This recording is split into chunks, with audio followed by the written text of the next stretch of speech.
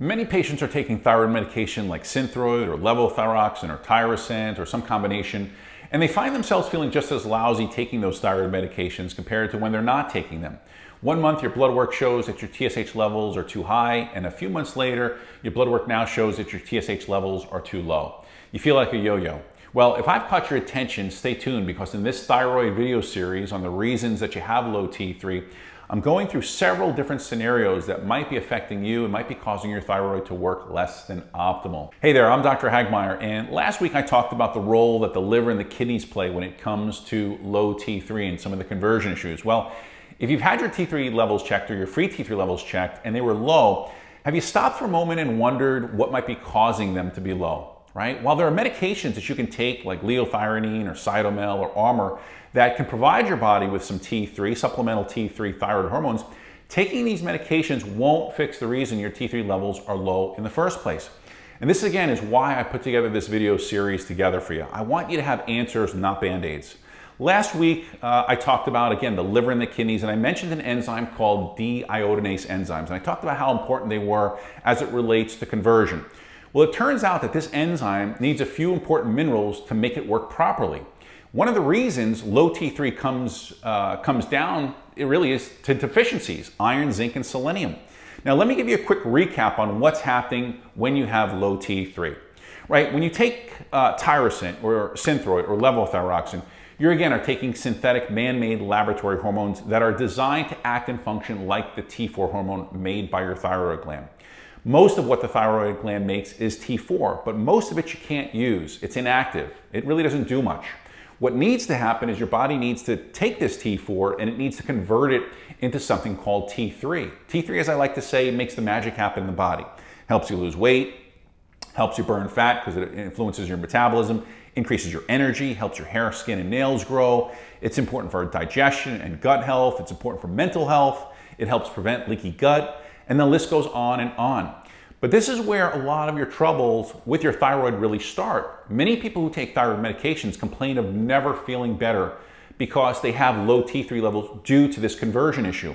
Now, if you can improve the way your body uses Synthroid or Tirosint or levothyroxine, or you can improve the way your body naturally converts T4 into T3, you can start feeling good again, right?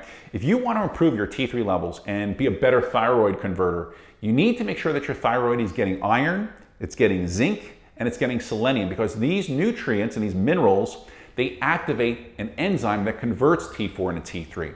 So just like taking Synthroid or levothyroxine won't fix your T4 levels, don't think that for a minute that taking synthetic T3 in, in the form of Cytomel or, or liothyronine will fix these problems either. Both these scenarios are band-aids. They really are, are what I call the topping off approach. Similar like a gas tank that's showing empty. You can keep dumping gas and putting gas into the, in the tank, but if the reason your gas tank reads empty is because of a leak, you have to fix the leak. You can't just keep putting gas in. You have to repair the leak, not just top the levels off every time your, your levels are low. So let's first talk about iron because this is by far one of the most common nutrient deficiencies in women with thyroid disease and Hashimoto's, and it's so easy to test for. Many women with thyroid disease have hormonal imbalances between estrogen and progesterone. And this imbalance of estrogen progesterone leads to a lot of heavy menstrual cycles, frequent bleeding. And this is, again, one way that many women become deficient in iron and ferritin. Many women with thyroid disease also have some kind of irritable bowel syndrome or some other gastrointestinal issue. Sometimes it's an infection with H. pylori or an overgrowth of bacteria or yeast in your small intestines like SIBO or SIFO, or um, it's some other kind of gut overgrowth. The other thing is many women also uh, struggle with inflammatory bowel disease or have some kind of internal bleeding caused by either celiac disease or Crohn's or ulcerative colitis. Again, all of these scenarios can lead to plummeting iron levels and ferritin levels. Now, why do I tell you all this? Well, number one, I bet if you're watching this video, you're probably dealing with these problems at the same time you're dealing with a thyroid disease. But number two, these are the most common reasons for an iron deficiency and low ferritin. And again, iron is needed in almost every aspect of thyroid health. Iron is required for the production of uh, thyroid hormones. It's important for the conversion of T4 to T3. It's required for the utilization of T3 once it gets inside the cell. So you can see that devastating effects that low iron stores can be on the thyroid gland as it affects production, conversion, and utilization of thyroid hormones. Now, additionally, low iron levels have been linked to the formation of a goiter in children. This is because when you have an iron deficiency, it's been shown to decrease the effectiveness of iodine supplementation and iodine uptake in the thyroid, which leads to a goiter. This means that to prevent a goiter, iron and ferritin levels should also be checked to make sure that those levels are adequate for effective iodine uptake into the thyroid follicular cells. Very, very, very important. Again, for all these reasons, iron and maintaining healthy iron levels are important when it comes to thyroid disease. Now, let's spend a few minutes talking about zinc. Zinc, again, is one of those important critical nutrients, has many functions in the body, and deficiency impacts the immune system, hair growth, skin health, tight junctions, uh, and leaky gut. Zinc's involved in more than 300 known enzymes in the body, activating them. And zinc is also the second most uh, abundant element in the body, second only to iron. Zinc, again, is very effective for many problems related to thyroid function, and a deficiency in zinc may result in what we call subclinical hypothyroidism. That's when your lab tests are normal, but you have all the thyroid symptoms. Adequate zinc levels are needed to properly metabolize vitamin D and vitamin A, both again, which are vital to thyroid health.